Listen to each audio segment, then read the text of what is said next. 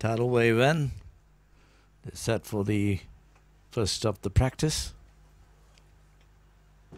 And away to go. Racing to a fair start, racing immediately. The great victory began well together with Lim's Mirage. Feisty Leo covering ground at this stage together with New York City. A line of four at the moment, and one joining them right on the outside, too, is Tidal Wave.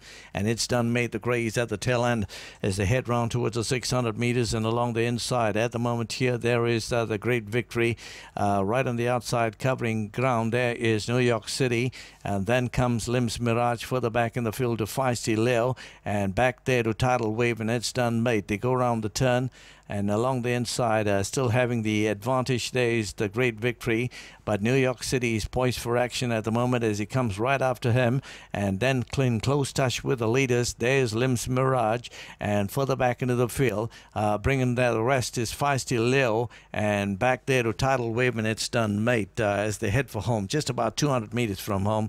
Uh, as the as they close in for positions, uh, let's see who's going to get it along the inside. It's uh, the great victory got the best better of uh, Lim's Mirage. Then came New York City. A nice run there by Feisty Leo as he closed in rather quickly. And back in the field, there was Tidal Wave, and it's done, mate.